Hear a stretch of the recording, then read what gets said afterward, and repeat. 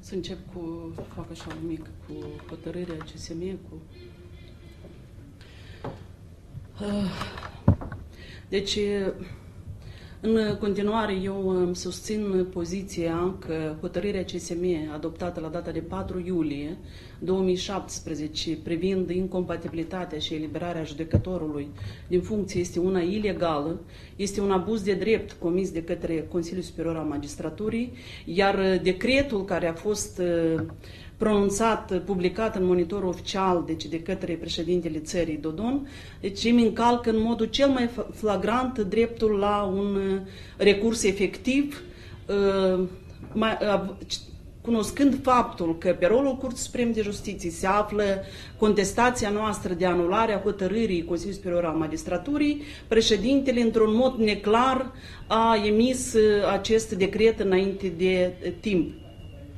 Astăzi noi în cadrul procesului am înaintat excepția, am ridicat excepția de neconstituționalitate a articolului 5 lita A din legea 271 privind verificarea titularilor la funcții publice, noi considerăm că verificarea judecătorilor de către Serviciul de Informație și Securitate, care este un organ executiv este o metodă de intimidare a judecătorilor, este o metodă de influență asupra judecătorilor și este o metodă de a scăpa de judecătorii uh, incomozi din sistem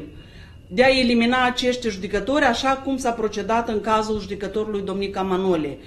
Noi considerăm că legea 271 în privința judecătorilor este o lege care contravine principiului standardelor internaționale de independență a judecătorilor, contravine principiului constituțional de separare a puterilor în stat, puterea judecătorească, puterea executivă și puterea legislativă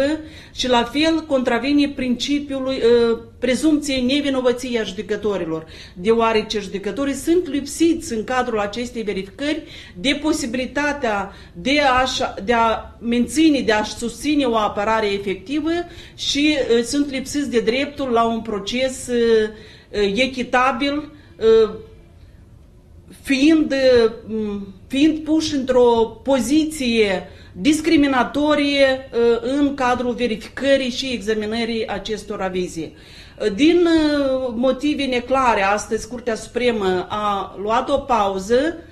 pentru a examina uh, temenicia acestei excepții de neconstituționalitate, deși uh, hotărârea numărul 2 a Curții Constituționale din 9 februarie 2015 spune în mod clar că uh, competența de a se expune asupra excepției de neconstituționalitate, deci aparține Curții Constituționale. Deci doar Curtea Constituțională urmează să se expună asupra excepției de neconstituționalitate articolului 5 lita din legea 271, mai corect, neconstituționalitatea acestor prevederi în privința judecătorilor.